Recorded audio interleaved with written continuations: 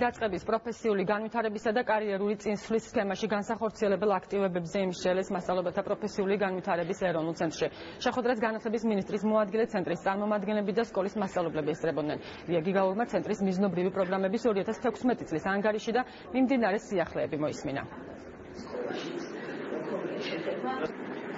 სამდება შეფასების რუბრიკები, როგორც განმარტებითი და სავალდებულო აქტივობებისათვის, ასევე შიდა და გარე შეფასებისათვის ძალიან მნიშვნელოვანი პროცესია ჩართულები არიან. პრაქტიკოსი მასწავლებლები, სკოლის დირექტორები, ფასილიტატორები, მნიშვნელოვანია რომ თითოეულ ადამიანს, ვისაც შეეხება შეფასება, შეეროდეს რომ ეს შეფასების ინსტრუმენტები არის ობიექტური